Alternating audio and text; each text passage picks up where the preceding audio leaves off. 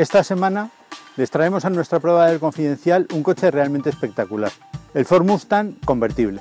Se trata de un vehículo deportivo al estilo americano, muy potente, con un motor V8 de 450 caballos, pero sobre todo un vehículo confortable y bastante fácil de conducir.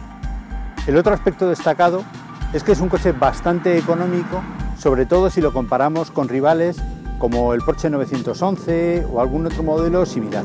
En este caso tenemos un coche muy potente, muy rápido también, pero al mismo tiempo no tan radical, no tan deportivo, no tan extremo como el modelo alemán. En cuanto a su precio, parte de los 45.000 euros y en el caso de la versión más potente y más cara, este que, estamos probando en esta ocasión, son 56.000 euros.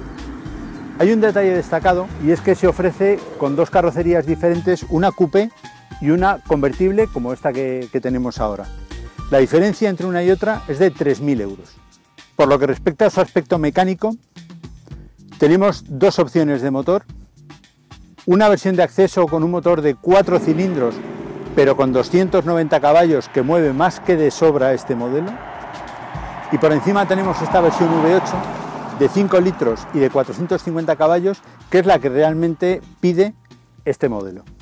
En cuanto a su maletero, es más que razonable para un vehículo deportivo descapotable.